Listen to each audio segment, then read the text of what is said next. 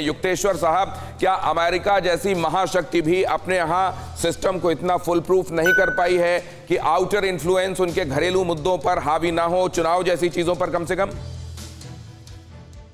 क्योंकि चीन अभी रिसेंटली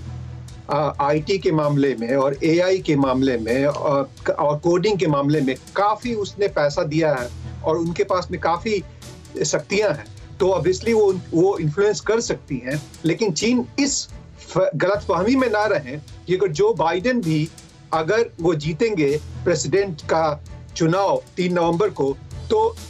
अमेरिका के रवैये में कोई बदलाव आएगा? क्योंकि हम जानते हैं कि जो डेमोक्रेटिक पार्टी है, वो रिपब्लिक पार्टी से भी ज़्यादा